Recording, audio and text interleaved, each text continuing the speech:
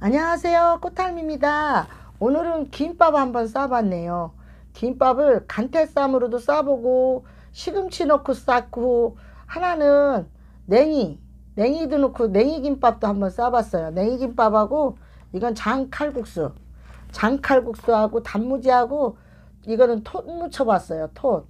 톳하고 맛있게 먹어보겠습니다. 구독과 좋아요 많이 많이 눌러주세요.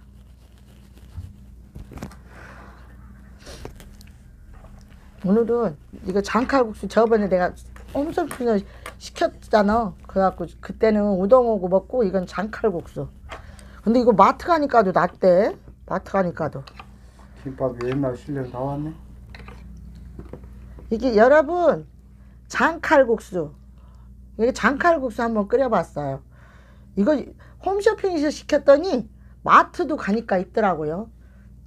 나는 홈쇼핑만 있는 줄 알았더니.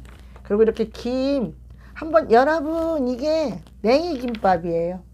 냉이 김밥 너무 향긋하니 맛있네요.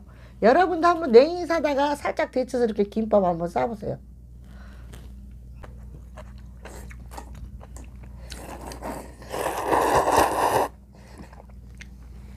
김밥 한번 먹어봐. 이거 냉이 김밥. 음. 여러분 냉이 김밥이에요. 냉이를 쌌더니 너무 향긋하고 맛있어요.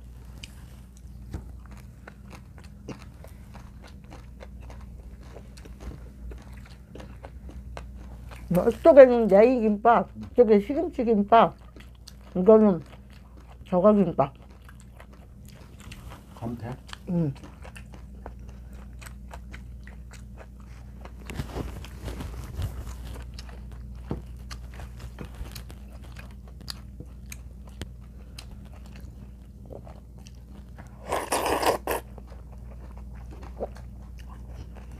음, 너무 맛있네 장칼국수. 냉이 김밥이 냉이 맛이 막 풍기네.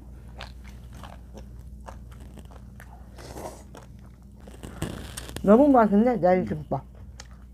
음 향이 너무 좋아.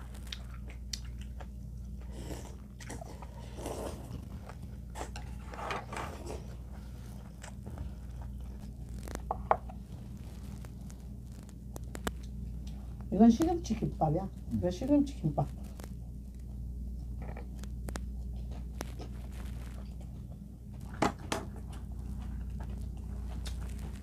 배불러서 다는 못 먹겠다.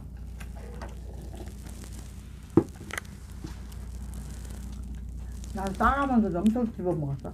모래서. 맛있네. 맛있어갖고. 꽁다리 엄청 하고. 그래도 맛있어서 엄청 먹었어. 한 조각도 다 먹.